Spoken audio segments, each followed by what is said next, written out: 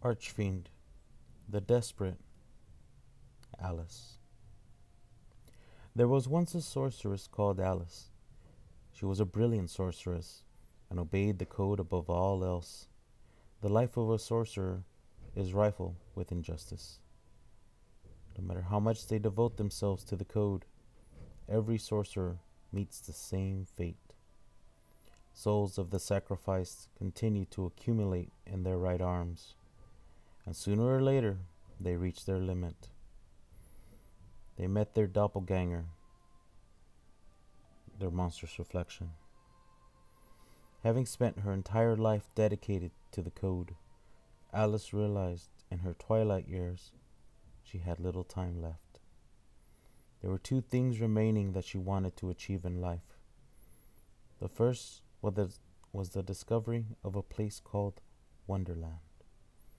Wonderland, a realm that exists somewhere in this world, a land filled with dazzling sights, vanishing cat, an endless tea party, the card soldiers that play. Rumor had it those who wandered into Wonderland would be trapped there until they died. It was as if the realm wanted to keep them as playmates. Wonderland was said to be the result of one young girl succumbing to her desires. Alice set out in search of this dangerous land, and she meant to liberate it. It was her duty as a mother. The creator of Wonderland was none other than Alice's daughter. Alice never noticed how lonely her daughter was. Her daughter had only wanted her mother's attention. This desire was powerful enough to summon up a fantastic new land. When and where her daughter's monstrous transformation began, even her mother knew not.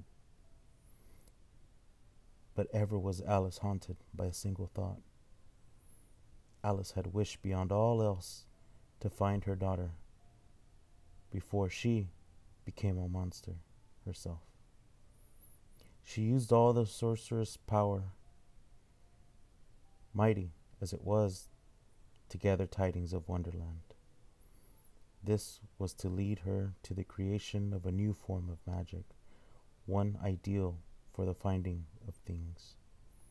Now she could convey her thoughts to those in distant lands if she would but ask the question, Where is Wonderland? Surely someone in this wide world would answer, but such great and powerful sorcery came with a terrible price. Conveying your words cost you your tongue. Sharing what you had seen cost you an eye. Though the application of this sorcery on the battlefield was limited, and it could only disseminate a scant amount of information at once, clever use would allow one to share all five senses with others. Alice's new sorcery would in later days come to be called grimoire and be designated a black rite. So it was, Alice sacrificed her own tongue to appeal to people far and wide. Who knows of Wonderland and my daughter's whereabouts? She asked. But she did not stop there. Next to go was one of her eyes, for she conveyed a memory of her daughter's likeness across the wide world. But despite her great sacrifice, not one person did she find who could offer her a clue. To her great disappointment, she realized that she didn't have enough time left to find it. Alice looked for someone to carry on her duties in her stead. This was the second thing she wanted to achieve. She wanted to train a successor. The loss of her daughter only bolstered her desire for someone to inherit her aspirations and she intended to entrust the seeking and liberation of her daughter to one who would follow in her footsteps. As she finally approached death, Alice saw a wondrous vessel before her. Alice knew what it was. It was none other than the sacred chalice. She had already knew what her wish was to be and offered up her body. she would create a space in which her successor would be trained, called Alice's Hollow. It was perfect for training sorcerers. In the hollow, the monsters Alice once fought would live again. Mock battles with monsters would take place there. The sorcerers found Alice's Hollow a very useful asset indeed for many years. It was said the very voice of Alice could be heard from its walls and ceiling. And there she would initiate them into the secrets of Grimoire, the other sorceries she had devised. However, Alice herself, though transformed in this place, grew more and more disappointed. For none of the sorcerers who came there were deemed worthy of succeeding her, and not one believed in Wonderland. It was hardly surprising, really.